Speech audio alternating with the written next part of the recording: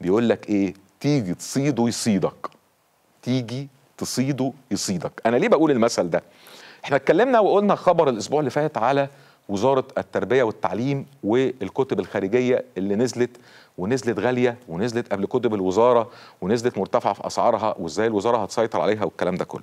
النهارده بقى وزارة التربية والتعليم بتقول لنا خبر نتمنى إنه يكون صحيح. مش عشان الناس اللي جابت أو ما جابتش عشان عايزين نقفل باب الكتب الخارجية ويعود الكتاب المدرسي رونقه وينافس ويقضي على الكتب الخارجية. بتقول إيه؟ الدكتور أيمن بهاء الدين نائب وزير التربية والتعليم قال الكتب الخارجية للثانوية العامة الموجودة في الأسواق غير مطابقة للمناهج الجديدة. يعني اللي اشترى كتب ثانوية عامة من أي مكتبة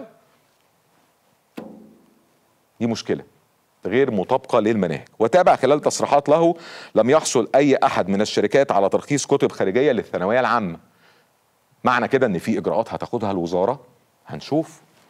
وقال الكتب الخارجية المتواجدة في الأسواق حاليا غير مطابقة للمناهج الجديدة ودور النشر مسؤول عن طباعة المناهج والأزمة ستكون في الصف الأول الثانوي أكثر من الثاني والثالث. يعني المرحلة الثانوية كده كلها طبعا بعد التعديلات اللي قالها وزير التربية والتعليم كل اللي جاب الكتب دي شوفوا بقى هتتعاملوا إزاي مع المكتبات أو أو دور النشر هتحلها إزاي. أنا شايف إنها القرار كان مفروض يعني يبقى بدري شوية عن كده. بس لو إحنا بنتكلم عن مافيا الكتب الخارجية ما أنا مش عايز المواطن اللي دفع فلوس برضه يروح للمكتبة يقول له هرجع الكتاب يقول له لا ماليش دعوة بعته لك فهي مسؤولية قبل ما تكون المكتبة اللي اشترى منها الكتاب هي مسؤولية دور النشر زي ما قال نائب وزير التربية والتعليم.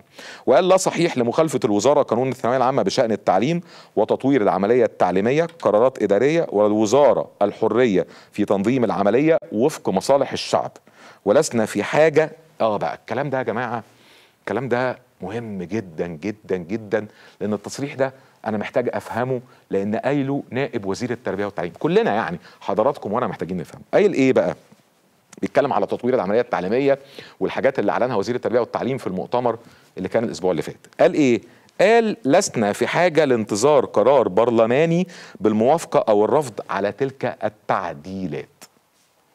ده تصريح نائب وزير التربية والتعليم. هل هذا الكلام صحيح؟ أنا ما أعرفش.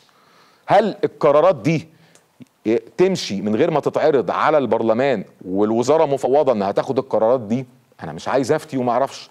بس أي عملية تطوير واللي كان متقال لنا قبل كده إن في حوار مجتمعي وفي عرض على البرلمان النهارده نائب الوزير بتقول إحنا مش ملزمين إن إحنا نعرض على البرلمان. ده تصريح رسمي. تصريح رسمي من نائب وزير التربية والتعليم. أنا لا بقول صح ولا بقول غلط. أنا بقول اللي قايله نائب وزير التربية والتعليم. يعني ده مش رأي شنودة.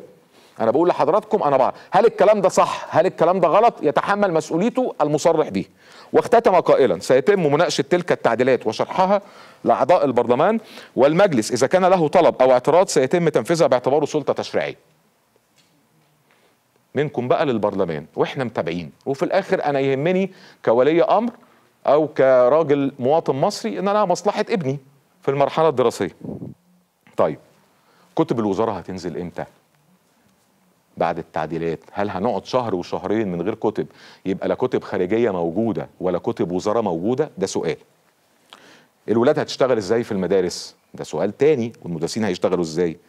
الكتب اللي بتتأخر كل سنة. يعني أنا عندي ثلاث حاجات أتكلم فيهم وزير التربية والتعليم. عندي الكتب وعندي السناتر وعندي غياب الطلبة. لو حضرتك يا معالي الوزير نجحت في واحدة أو اتنين منهم وتنفذ على الأرض الكلام صح يبقى 10 على 10 ما نجحتش يبقى في كلام تاني. ونتمنى طبعا النجاح. إحنا ما بنتمناش لأي حاجة في مصر إخفاق. لكن إحنا بنتكلم على الكتب. هل هتلحق تطبع وتتشال وتتوزع وتوصل قبل بداية العام الدراسي؟ خلينا نشوف. دي تصريحات نائب وزير التربية والتعليم الدكتور أيمن بهاء الدين. ده بالنسبة لموضوع الكتب الخارجيه